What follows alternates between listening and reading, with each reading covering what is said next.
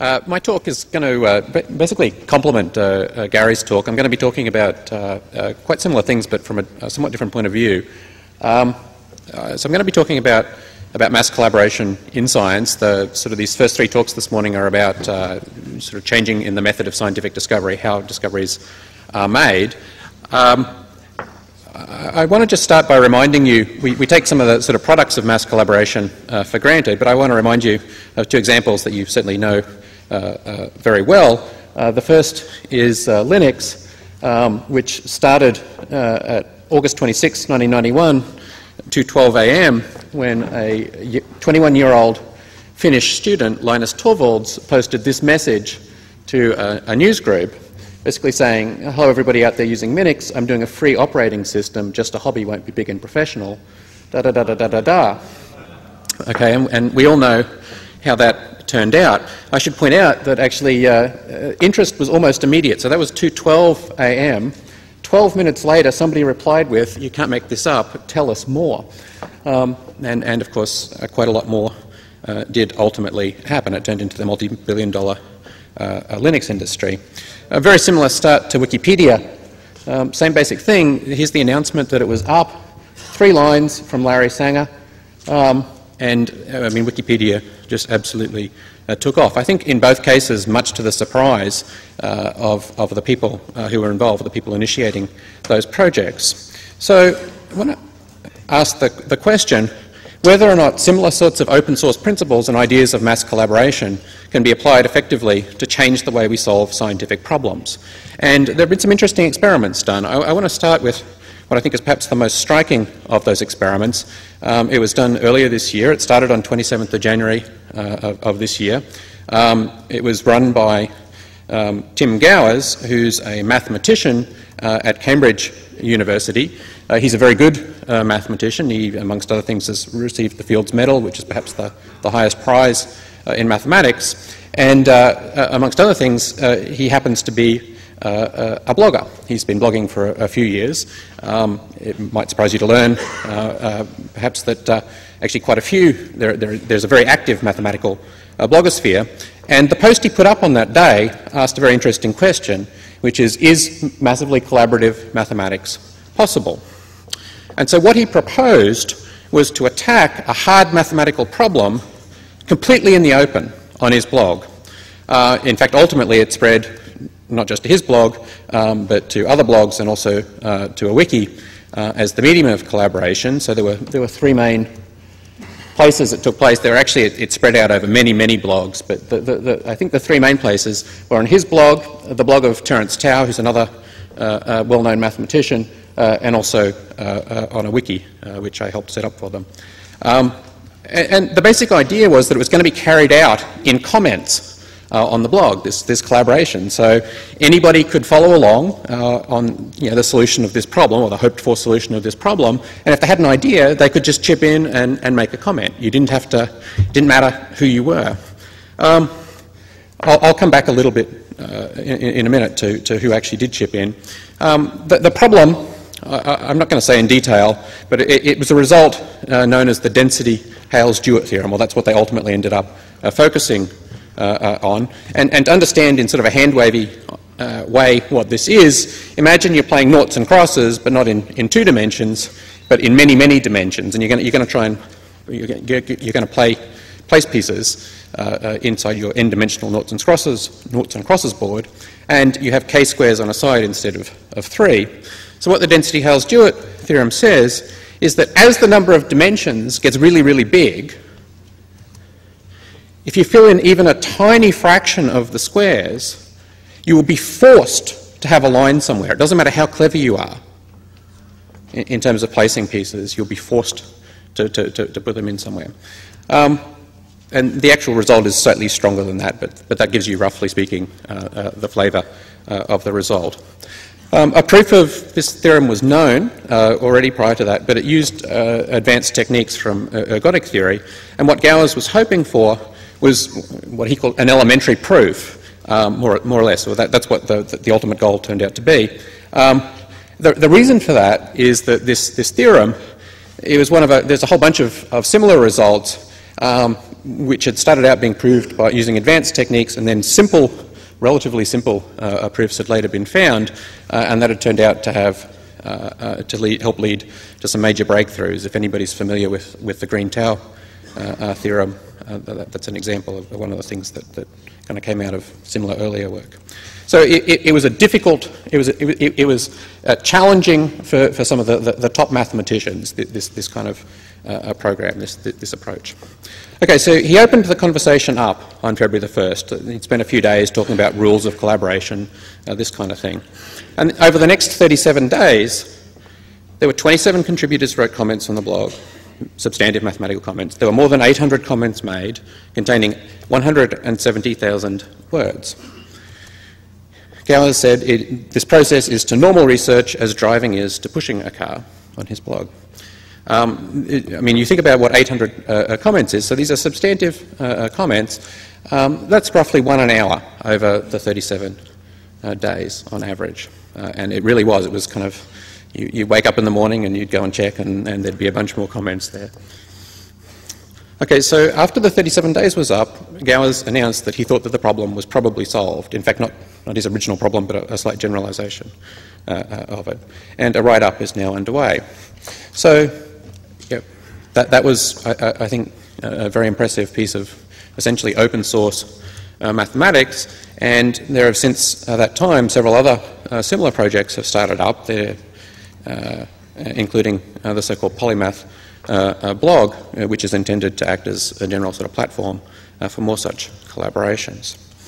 So this is an example, in some sense, of, you know, how I think about it, uh, of the restructuring of, of, of, expert attention. So these people, you know, the, these very good mathematicians, uh, were, were, paying attention to one another, or the, the, the, medium of the blog or the medium of the wiki enabled them to, to, to pay attention to one another, to talk to one another in, in a way uh, that ordinarily is simply not possible for them. And, and, the reason why this is, is, important is, in some sense, expert attention is the ultimate scarce resource in science. That's, that's the bottleneck. You know, if you have access to John von Neumann's attention for a few minutes, um, that's going to help you an awful lot in, in solving a, a, rather wide class uh, uh, of problems. And so if you can restructure expert attention, at least potentially, it can be allocated much more efficiently. And that's what these tools uh, uh are doing. So that's one story. I think it's a small part of a much bigger transformation that's currently going on right now, a transformation in how discoveries are made. The, the stuff that Gary Wolf talked about is, is, is also very much a part of this sort of broader uh, picture that's enabled by online tools that augment our collective uh, cognition.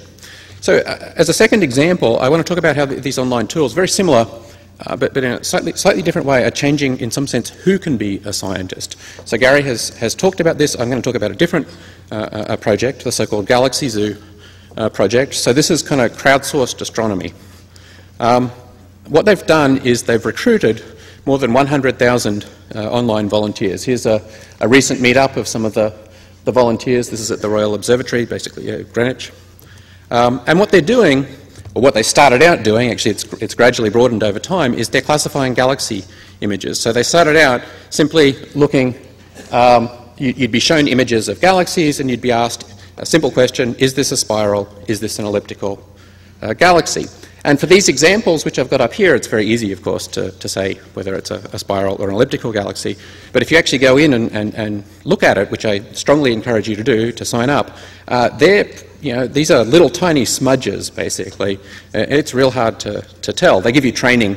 Uh, you have to go through a little training regimen before you're actually allowed to classify uh, galaxies. And most of the, uh, the, galaxies, I think, are now typically classified uh, by 30 people on average, so they can eliminate kind of one-off errors.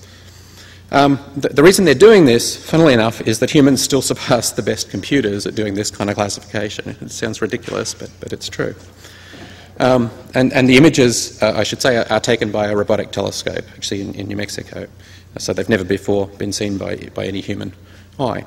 They've classified more than 1 million galaxies, more than 30 million actual images. Actually, they're, they're well beyond that now. Those, that's old numbers. Um, and they've made all kinds of really interesting discoveries. So one that received some, some press attention, I'll talk about some that, that haven't in a minute, but one that received some, some press attention is the so-called Voorwerp.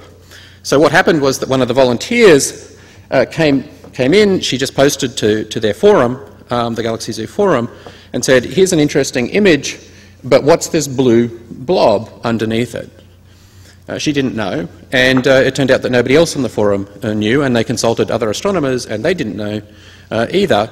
And actually, ultimately, there turned out to be uh, quite an extended discussion about exactly what it is. And they have a theory uh, now, there's a published paper, um, basically the, the, theory, in short, uh, is that, this, that the galaxy above it uh, ripped another galaxy to shreds, and what you're actually seeing is hot ionized gas and the reflected light uh, uh, of the galaxy, and, and, that's what it is. It's not actually the blue is false color, but, but that's the basic idea. Um, and, and, and so Hanny van Arkel, the person who, who noticed this, uh, was a, I think she's 25 year old uh, Dutch school teacher. And, and they've yeah, got this, this paper uh, has, has now, uh, I think, appeared in fact. You, you see, in fact, Hanny's, she's the, the fourth author on the paper. Um, and this is, is, since broadened. So that was the first Voorwerp ever, ever discovered. And they, have gone Voorwerp hunting. Um, they've found a, a whole there's a, there's a Voorwerp project there, and they've got a whole bunch of people who specialise in trying to find these objects. Right, so, so here's actually one. You'll see why it's hard for them to, to, to find the objects. You know, it's pretty indistinct. That's, that's the Voorwerp there. But they found a whole bunch more of, of these objects, and there's, there's a whole lot of people involved. So that's one example. There are many such sort of similar examples. Uh, here's a woman named uh, Ada Burgess. I, am not sure I'm saying her name correctly, Burgess. Um, she's from the Dominican Republic. She lives in Puerto Rico. Um, she's uh, basically, I mean, she's, she's uh, a mother. She's stayed at home for the last uh, uh 30 years. And she got involved with Galaxy Zoo. And her quote I went to Galaxy Zoo and my life changed forever. It was like coming home for me.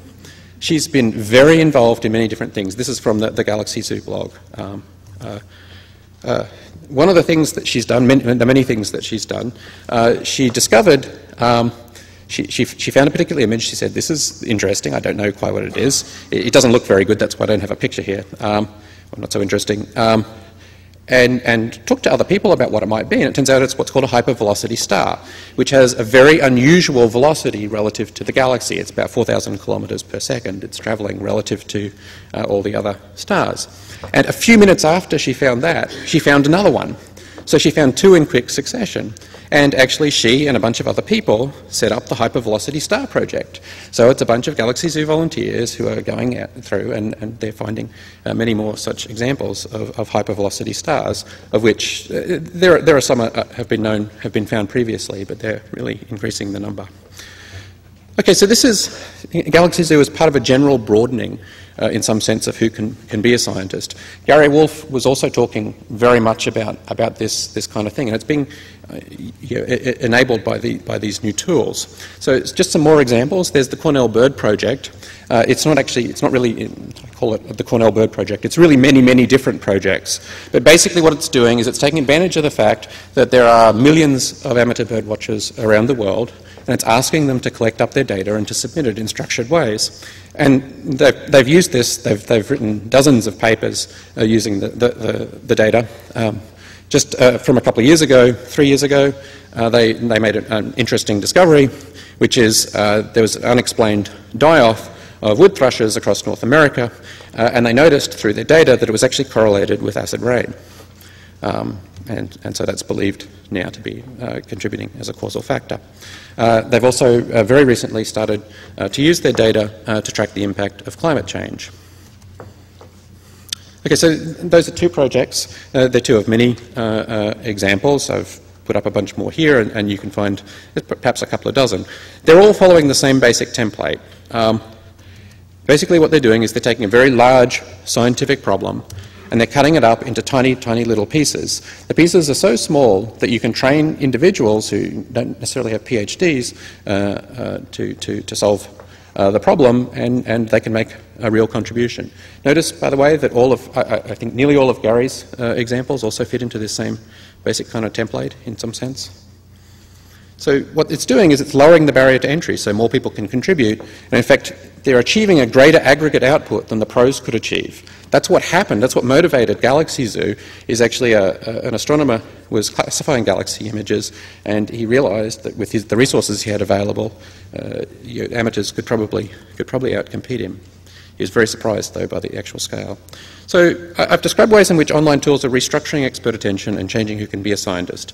They're doing many, many other uh, things which, unfortunately, I don't have time to talk about. Uh, one of my favourite things that, that, have been mentioned a few times, I, I just thought I'd, I'd, mention it again, is in some sense they're creating entirely new fields of science by, by doing things like data binding uh, on the human genome and the haplotype map.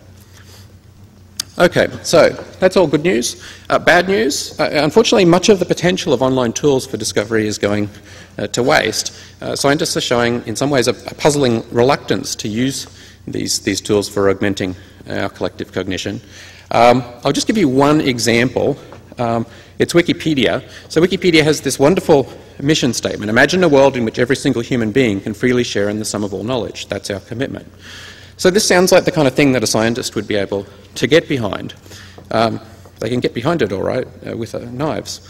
Um, um, well, I, mean, uh, in, in, the early days, very few scientists uh, were involved. It's, it's become legitimised a bit, a bit, more recently, but you, have got to ask why, why is it that, that you know, so few scientists were involved? It was started by Jimbo Wales and, and Larry Sanger, uh, neither of whom uh, is scientists. Larry Sanger does have a background in philosophy, but neither of them were academics at the time.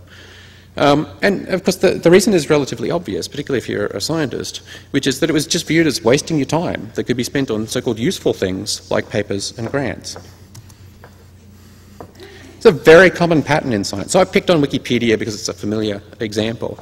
But actually, people have tried online comment sites on, on papers. All of those uh, have failed, essentially. Uh, people have tried open peer review, that's failed. Uh, nearly all scientific wikis have failed. Uh, the, the, social networks that have been built for scientists so they can find each other uh, and, and, you know, do collaboration uh, have, have generally failed or have been at most very qualified successes.